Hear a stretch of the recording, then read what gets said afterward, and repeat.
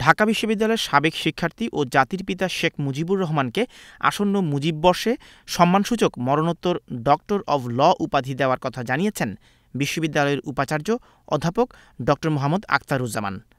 উপাচার্য জানালেন, শেখ মুজিবুর রহমানের ছাত্র নেতা থেকে যুব নেতা ও পরবর্তীতে বঙ্গবন্ধু হয়ে ওঠার পেছনে ঢাকা বিশ্ববিদ্যালয়ের শিক্ষা জীবন ছিল গুরুত্বপূর্ণ অধ্যায়। আমরা মুজিব বর্ষে জাতির জনক বঙ্গবন্ধু শেখ মুজিবকে সম্মানসূচক ডক্টর অফ লস অনারিস গজা, সেটি আমরা প্রদান করব। বঙ্গবন্ধু যে মাথা উঁচু করে চলেছেন, তিনি নিয়ম বহির্ভূত কোনো আদেশ, সেটি তো মেনে নেননি। প্রথমবারের মতো অ্যাসোসিয়েশন অফ কমনওয়েলথের পরিচালনা পরিষদের সদস্য নির্বাচিত হওয়ার কারণেই উপাচার্যের লন্ডনে আগমন। তিনি মনে করেন, বিশ্ববিদ্যালয়ের র্যাঙ্কিং বাড়াতে হলে ঘাটতিগুলো চিহ্নিত করে উদ্যোগ গ্রহণ করতে হবে। প্রথমত, আমাদের শিক্ষকদের অনেক অর্জন আছে। তাদের অনেক গবেষণাও আছে।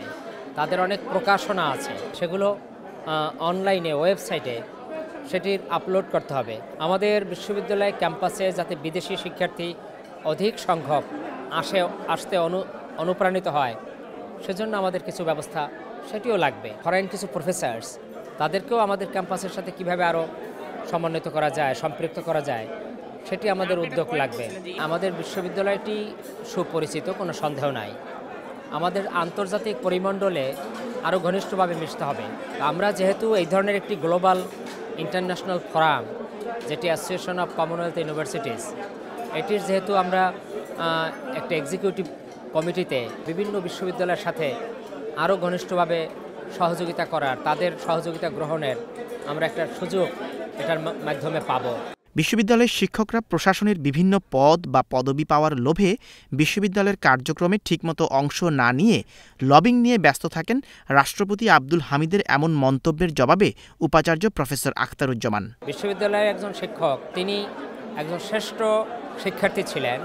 এবং পরবর্তীতে শিক্ষকতার ন্যায় মহৎ পেশায় যখন আমরা প্রবেশ করি, তখন সেই জায়গাটির মর্যাদা, সেটি যাতে সমুন্নত থাকে, সেটির প্রতি শিক্ষকরা তার নিজের বিবেকের কাছেই দায়বদ্ধ থাকেন। বিশ্ববিদ্যালয় এমন একটি অঙ্গন যেখানে দলীয় সংকীর্ণতা থাকবে না, কিন্তু রাজনৈতিক যে দৃষ্টিভঙ্গি, রাজনৈতিক মনস্কতা, সেটি পোষণ করবে এবং তাহলেই শিক্ষক এবং শিক্ষার্থী তাদের মধ্যে যে গণতান্ত্রিক, মানবিক এবং অসাম্প্রদায়িক মূল্যবোধ, সেগুলো তাদের মধ্যে বেশি ক্রিয়াশীল হবে।